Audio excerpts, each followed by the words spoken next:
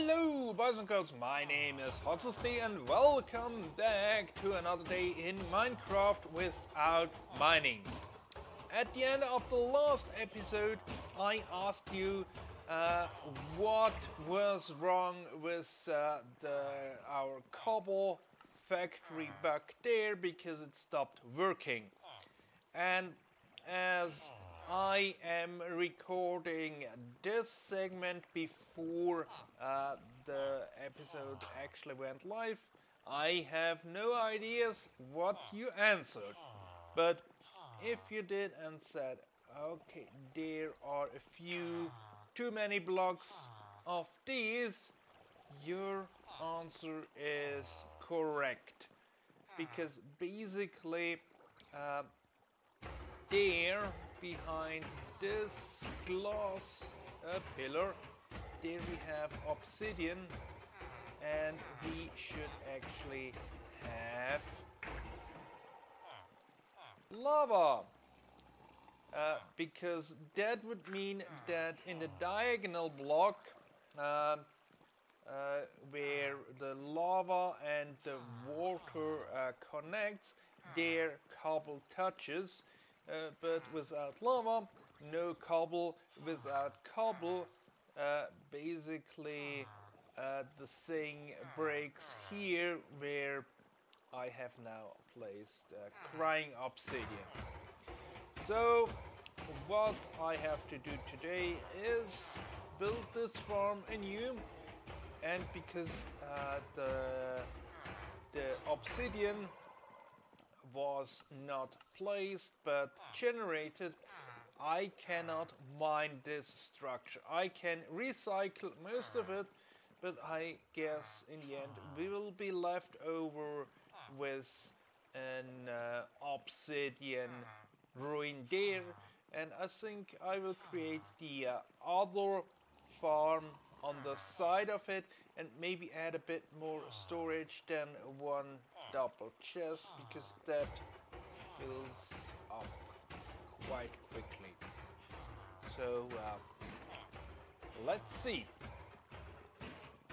This is how it's supposed to look and by the looks of it you can also see uh, the uh, materials are a bit upgraded as compared to over here because now we have a bit more vari variety with the with the smooth stone slabs, the smooth stones and uh, the stairs that uh, uh, distinguish uh, by the, the color.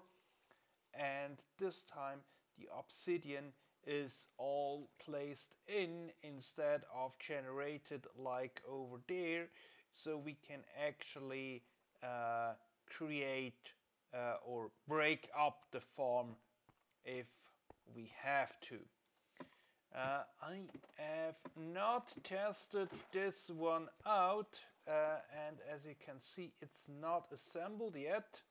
Um, so this is the moment of truth I guess. And then we will see if we get uh, some couple of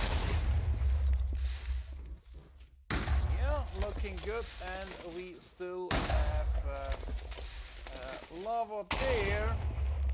And I guess what went wrong with with the water there is farm was running. I moved either too far away or locked out, and. Uh, that's not a good thing to do if you have uh, moving pistons at least moving pistons that have uh, slime attached to it. Um, okay. This does not go down there uh, we can we can there a sign up there in the middle and then water stream down here, I would assume that most of the cobble ends up here in this one and not necessarily ah, bit is also in here Um, again, let's see. Um, yeah, also the, the ones below are getting filled because of course uh, there is more cobble coming in than uh, what can be distributed by buffer speed. So I have been thinking uh, maybe I will do a bit uh, shorter episodes uh, which might lead to one more video per week so instead of going into the next project I will show you what I have been working on in the background without flying away too far. Just over here. It should be still good. And if not uh, now we can fix that farm over there because if you look down here uh, you cannot see the bottom. Uh, we have to get a bit closer and there you see all bedrock. So I cleared uh, this hole up uh, down to bedrock and we can move the slime farm all the way down. And then we have to build up the, the walls here as well as I did over there. But that's project for next time so hope you enjoyed this one and uh, join me next time. Goodbye